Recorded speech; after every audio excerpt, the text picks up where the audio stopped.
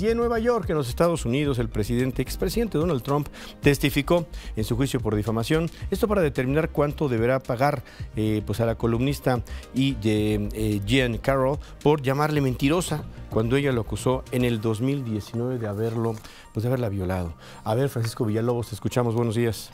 Gracias, Manuel. Muchísimas gracias. ¿Qué tal? Muy buenos días. Buenos días, amigos de Grupo Fórmula. Bueno, pues ya prácticamente 72 horas después de que Donald Trump ganó las primarias en New Hampshire, se presentó ante una corte ahí en Manhattan para continuar este juicio para poder determinar cuánto van a ser los daños este, que va a tener que pagar él por el juicio que perdió, este, que le ganó la autora E.G. Carroll por presunta violación, ataque sexual que tuvo Donald Trump en contra de ella en el 2019. Ojo, o sea, está este veredicto en contra de Donald Trump que lo declararon culpable.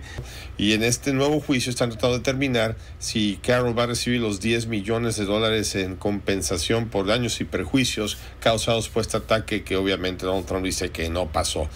Más se tardaron en discutir los abogados y la juez este, Judge este, Lewis Kaplan Ah, de las reglas, de las cosas que puede y no puede decir el expresidente de los Estados Unidos, de que el tiempo que estuvo este, declarando Donald Trump. Respondió tres preguntas este, básicas. El juez eh, lo tuvo que mantener, digamos, en forma de no salirse del, no puede decir de más, no podía este, ni siquiera decir que eso no pasó. Así las cosas, querido, querido Manuel. Abrazo fuerte, bueno, hasta allá, hasta los Estados Unidos, Francisco Villalobos, Sofía Enríquez, que vamos a tener